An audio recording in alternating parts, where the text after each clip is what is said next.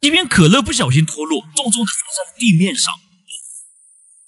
眼瞅着就要爆炸，一级警报瞬间响起，福布勒火速赶到了现场，然后把危险人物控制了起来。只见福布勒弯腰检查完可乐，急忙向上级汇报情况。完了，有一个可乐冒气了。这时，国务部长急忙赶来，在得知可乐冒气后，顿时慌了。他急忙命令手下，让小日子过得不错的人全部火速撤离广岛，然后又派出了顶级的拆弹专家，拿着行李箱赶到了现场。只见他把其他两瓶可乐装箱转移，看着眼前冒气的可乐，拆弹专家都冒出了。一头汗，当了二十年的福布勒，这是他们遇到的最大的任务。他们连接上气压，保证拆弹过程中时刻的关注着冒气的情况，每扭转一毫米都随时有可能面临爆炸。看着不停冒气的可乐，留给他们的时间已经不多了。此时的福布勒已经紧张到了嗓子眼，大气都不敢喘一下。另一边，国防部已经做好了最坏的打算，广道可能保不着了。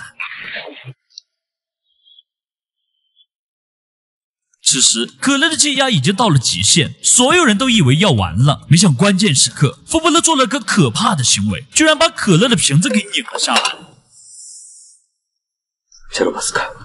得知危机被解除后，所有人都激动地抱在了一起。可就在福伯勒高兴时，一个恐怖分子冒了出来，并且不停地摇晃着手中的可乐。你们晚了。由于压力实在太大，其中一个福伯勒选择了开枪自尽。哎呦！